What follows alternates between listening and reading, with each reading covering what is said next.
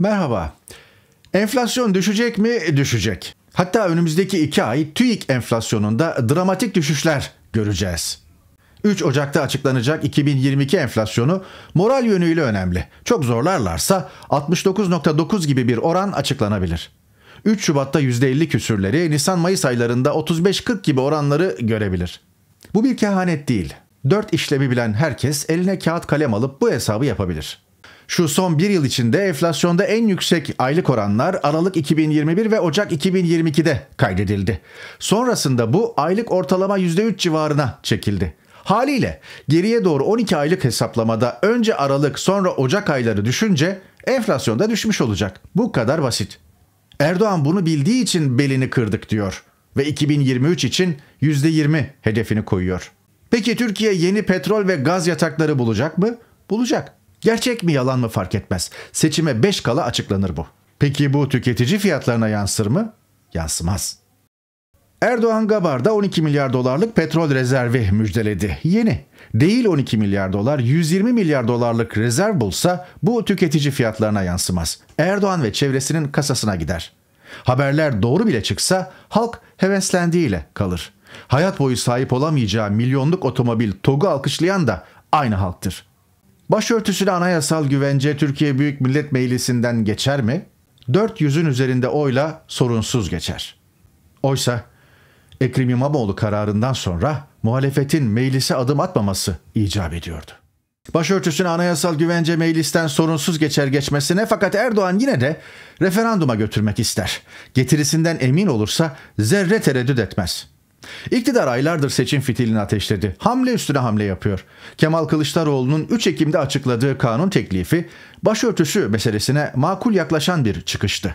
Kılıçdaroğlu bununla iktidarın elindeki dini sömürü argümanını almayı amaçladı. Siyasi satrançta vezirin gittiğini gören saray anayasa paketiyle şah çekti. Fakat bunu açıklaması iki ayı buldu. AKP MHP Büyük Birlik sandalye sayısı 335. Buna AKP'li meclis başkanını da eklediler. 336 imzayla anayasa teklifini meclise sundular. Eksiksiz blok imza mesajın güçlü olması için gerekliydi.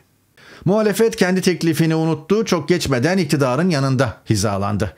CHP aykırı davranmayız derken İYİP kafadan yeşil ışık yaktı. Diyecek bir şey yok. İktidar onca yıldır muhalefetin hiçbir teklifini kabul etmedi. Makul araştırma önergelerini dahi mecliste reddetti.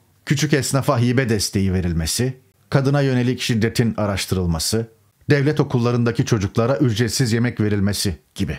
Nedeni basitti.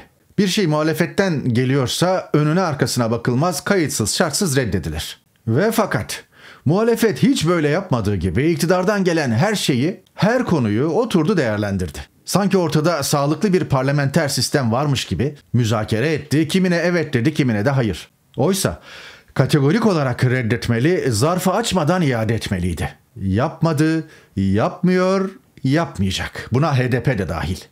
En son Türkiye İşçi Partisi'nin dolaşıma soktuğu bir dakikalık video önüme düştü. Genel Başkan Erkan Baş konuşuyor.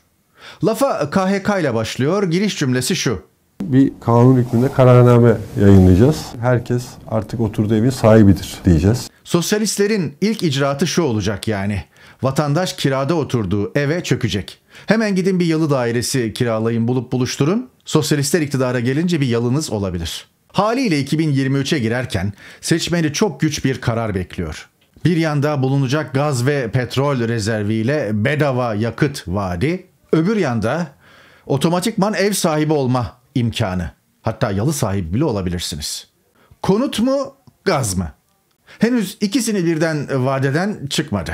Yakındır o da çıkar.